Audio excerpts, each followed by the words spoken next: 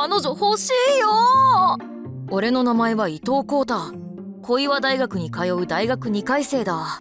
どうしたのですか？いきなり。昨日恋はスクールデイズってアニメ見て恋人いるのが羨ましくなってさ。彼女いない歴イコール年齢の俺みたいなやつに彼女ができる道具ないかな。おたえもん私は未来の猫型ロボットではなくオタクだです。彼は同回生のオタクだ保つくん。こうしてよく俺の悩みを聞いてくれる。彼女が欲しいならやはり出会いは大事でしょうね。例えば。合コンはどうだ？ってチャラ男！くん彼は同回生のヤバすぎチャラ男俺と違って陽キャだしよく女子に声をかけているのを見かけるのだが。今週末に合コンあるから来いよ。いいの？オタクだくんもどう？私は3次元に興味ありませんので。はあ。合コンに行くのか。じゃあさうちも参加させてよ。えマジかよ。彼女は小野ありさ同回生であり俺の家の隣に住んでいる幼なじみだ。昔は気弱でおとなしかったけど今は正反対な性格になってしまった。何が目的なの？コウタにちゃんと彼女ができるか心配だから近くで見届けてやろうと思ってな。で本音は？合コンでコウタが何やらかすか気になるから。やっぱり俺をからかうつもりだろう。もちろんアリサちゃんも参加 OK だぜ。じゃあ打ち合わせも兼ねて一緒に。そんじゃあ一緒に帰ろうぜ。そんな急に引っ張らないで。って俺は？では私と一緒に帰りますか？女の子が家に決まってんだろ！本当に合コンに行くの？うんうちが他の男に声かけられるかもって心配なのか？そうじゃなくてアリサって合コン苦手そうだからさいつも断ってたでしょ？別に興味がないわけじゃねえよ。でもそんなに心配してくれるなんてやっぱ優しいじゃん。ありがとな。あ頭撫でるな数日後とうとう合コンか。緊張するなあの子恋はスクールデイズのヒロインに似てる気が。そんじゃ。自己紹介から始めようぜ。まずは伊藤からな。ええっと俺は伊藤浩太って言います。趣味はどうせアニメとかゲームじゃねえの？えオタクなせいで彼女もできたことないんだろでも俺って優しいからさ。こんな陰キャオタクでもちゃんと合コンに誘ってやったんだぜ。な何言ってるの？まさか俺を引き立て役にするつもりじゃ。ちげえよ。まずはお前のことを知ってもらうべきだろいやでもそれにお前が彼女できたことねえのは事実だしそんなのネタにするしかねえじゃん。何言ってんだ？オタクで恋人がいないことの何が悪いんだ？うちだってできたことねえし。そそれはアリサちゃんが断ってるから。オタクでも悪いわけじゃねえだろ。自分の好きなことに熱中できるのはいいことだ。ですよね私も実はオタクなんです。え合コンだから隠そうと思ってましたけどおかげで勇気が出ました。いやそんなつもりじゃ励ましてくれてありがとうございます。私オタク友達欲しかったんです。伊藤さんってどんなアニメが好きなんですか？えっと今ハマってるのは恋はスクールデイズかな。私も好きですよこの服もヒロインの姿を参考にしてて。やっぱりすごく似合ってるよ。ありがとうございます。どうしてこんなことに。その後彼女とアニメの話で盛り上がった。趣味が似ているのか好きなアニメもかぶっているみたいだ。そうしてしばらく経った頃王様ゲームをすることになりううちが王俺は今回も王様なれなかったか。様あコータの割り箸の割れ方。多分さっきうちが引いたくじだよな。つまりあの番号は2番。それとあの子の割り箸は1番の割れ方。ということは。どうかした？なんでもない。じゃあ2番と1番が席を交換するのはどう？では2番の私が伊藤君の隣ですね。一番は俺だ。アリサちゃんの隣だぜ。そんなコータと隣になって意識させる作戦かあアリサどうかしたの？ななんでもない。さらに30分後。そろそろ合コンも終わる時間だな。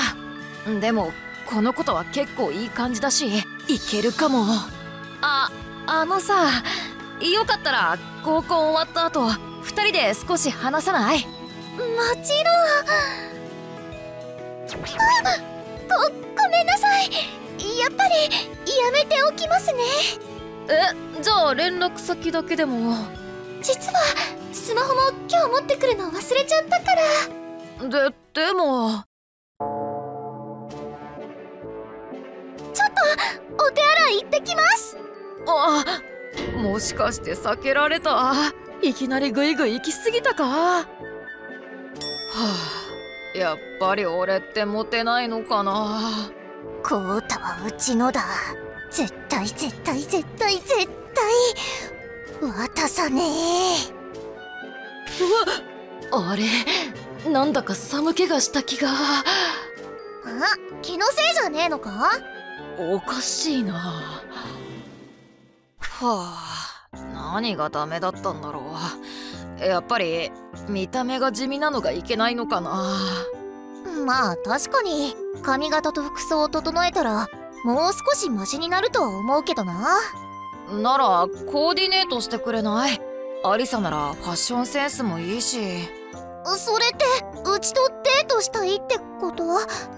ち違うよそもそも俺たちは前から一緒に出かけることあったしもうただ出かけるだけじゃ気づかねえかまあ付き合ってやるよいいのありがとうもっとアプローチしないとうちの気持ちに全然気づかねえしえうああただの独り言髪型ならすぐに変えられるし明日大学終わったら美容室行こう。えそして早速次の日に美容室へ。どうかな？っ。て顔真っ赤だけど大丈夫？ななんでもこの反応まさか見とれてたとか。あいやいやそんなはずないだろ。その翌日なんか今日は女子によく声をかけられるんだ。アリサがイメちゃんに付き合ってくれたおかげだよ。ふーん。ってなんでそんな不機嫌そうに？なんでもない。それに髪型が良くても服装はまだまだだからな。じゃあ今日も大学終わりに。服はじっくり選びたいし休日に出かけるのはどうだ？うちも準備あるし週末にしよう。準備？何するつもりだ？そして迎えた週末。うーん何の音？寝顔かわいいなこいつ。アリサ？どうして俺の部屋に？今日はデートの日だぞ。おばさんに言って部屋まで上がらせてもらったんだ相変わらず寝顔は可決して愛いな。やだ。それより早く支度しろよな。わかったって。あれ？よく見たらその格好俺の好きなキャラの服に似てる気が。うん？もしかしてうちに惚れそうとか？うち違うって。でも今日はいつもよりもずっと可愛いなよし準備できたし行こう。じゃあはぐれないように。なんで手つなぐの？ダメなのか？昔はこうやって手をつないで歩いてただろ？とにかく行くぞ。さっきからアリサの柔らかいものが当たって。顔真っ赤にしちゃって。どうしたんだ？幼なじみに腕をギュッてされて照れてんの？今日のアリサ妙に積極的なんですけど。おーっとコートに似合う服は？どどうして今日はやけにくっつこうとしてくるんだ？俺何かしたっけ？よし決めた。じゃあこれ試着してきて。うんうん。アリサこの服だけど。ふんふん。うげチャラどうしたの？男あいつ合コンが終わってからもしつこく声かけてくるんだよ。顔合わせたくないんだけどな。こっちに来る。試着するつもりか。どどうすれば。アリサこっち。あやっべえ。こんなところ見られたら一発アウトだろ一年生になったら一年生になったら彼女を100人できるかな。どんな動揺俺ら一年生ですらねえし。数分後よっしゃ君に決めた。こいつで次の合コン彼女ゲットだぜ。はあやっと出て行ったか。にしてもひどい独り言だったな。アリサ大丈夫か？海見るな。え？今超恥ずい顔してるぐ照れてるの可愛すぎか。からよし服も無事に変えたな。結構いい感じになってきたんじゃねえの？ありがとう。アリサのおかげだよ。この後どうする？まだ昼を過ぎたばかりだけど。じじゃあさついでに昼食べていかないか？それってデート続行ってこと？時間もあるしいいだろ？あうんもちろん。その後俺たちはデートを続けることに二人で一緒に食事をしたりゲーセンで遊んだりした。昔から二人で出かけることはよくあったけど今日のアリサはやっぱり距離が近い。は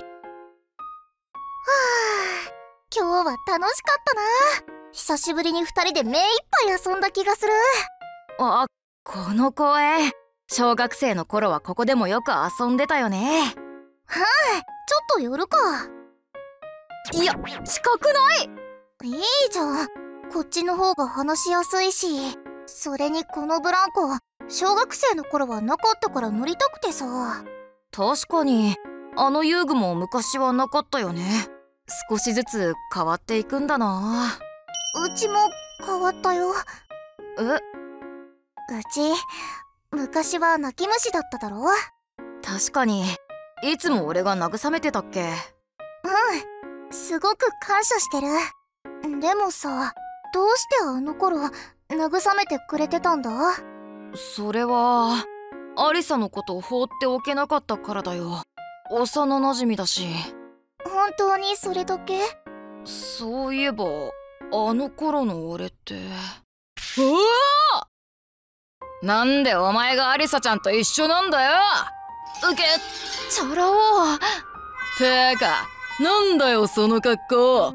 この間の合コンが失敗したからイメチェンか？いくら見た目を変えても合コンで成功するわけねえだろ。つ次こそは成功させるし。だったら明日も合コンやるから来いよ。失敗するのが怖いからって逃げんなよ。誰が逃げるか。アリサちゃんもまた来ない。今度こそ俺が楽しませてやるから。行かない。ごめん。休養を思い出したから先に帰るえー、アリサちゃん！アリサ一体どうしたんだ？翌日。うーん。どうしたのですか？それが昨日カクカクしかじかでさ。そういえば今日は小野さんが来ていませんね。大学を休んだみたいなんだ。俺何かしちゃったかな彼女はあなたに合コンへ行ってほしくないんじゃないでしょうか。え？もし小野さんが一人で合コンに参加するとなったらあなたはどう思いますか？言ってほしくないかも。悪い人に騙されないか心配だから。本当にそれだけですか？私にはもっと深い意味があると思いますが。そっか俺は。きっと小野さんはあなたと同じ気持ちなんですよ。あのさオタクだくん。ちょっとお願いしたいことがあるんだけど。数時間後。はあ今頃コウタは合コンかな？うち今まで何してたんだろう？あれ？君何か悩んでるの？俺たちが話聞いてあげよっか？いらない。まあまあそう言わずにさ。何してるんだ。彼女に手を出すな。こ、こうた？なんだ男がいたのか。悪かったよ。行こうぜ。大丈夫だった？う、うん、てか、なんでここにいるんだ？合コンは、イメチェンもして頑張ってたのに。合コンならオタクダくんに代わりに出てもらえるよう頼んだんだ。急に俺がいなくなると人数が減って迷惑になっちゃうからさ。でも彼女欲しいって。俺さ自分にとって誰が一番大事なのか気づいたんだ。俺アリサのことが好きだ。俺は昔から友達を作るのが苦手だった。そんな俺のそばにいつもアリサがいてくれただろ合コンが失敗した時もアリサが俺を変えてくれたしいつも支えてもらってたから今まで家族みたいに思ってた。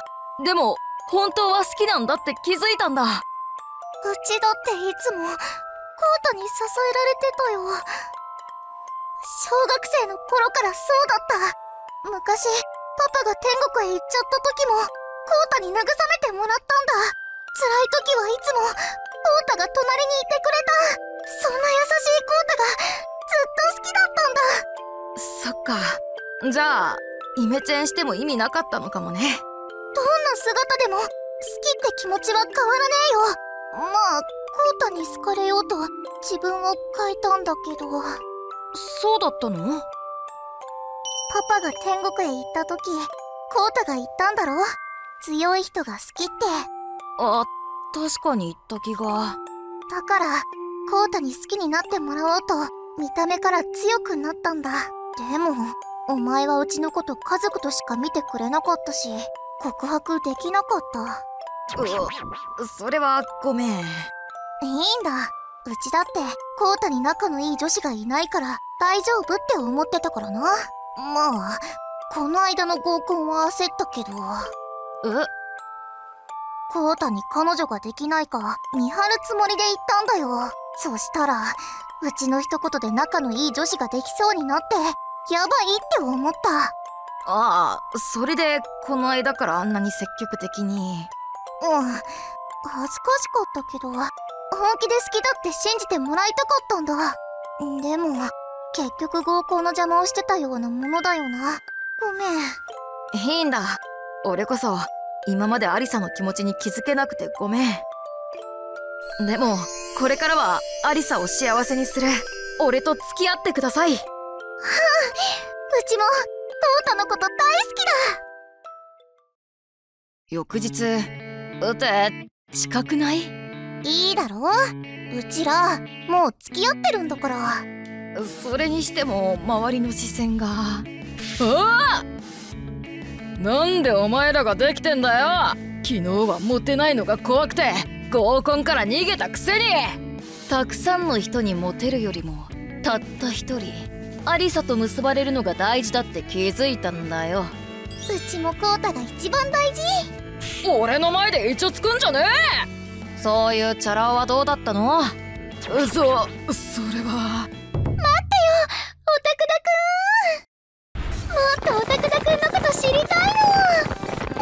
は三次元に興味ありませんので。何事？嘘それが昨日の合コンチャラ男氏が呼んだのが私と趣味が同じ方ばかりだったんですよ。どうして？オタク女子ならちょろそうだし余裕で落とせるって思ったんだよ。ですが誰もチャラ男氏には興味を示さず私がこのようなことになりまして。く っ俺の方がイケメンなのに。やっぱり人は見た目じゃないってことか。チャラ男にもいつかいい人が見つかるといいね。お俺の方がモテるってこと？証明してやるんだからな。その後もチャラ男は合コンを続けているみたいだけれどどこの女子にも相手にされていないらしい。一方で俺はイメチェンのおかげか声をかけられることが増え。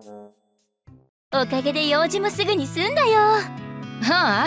また何かあったら手伝うよ。ありがとう。じゃあね。うんまた。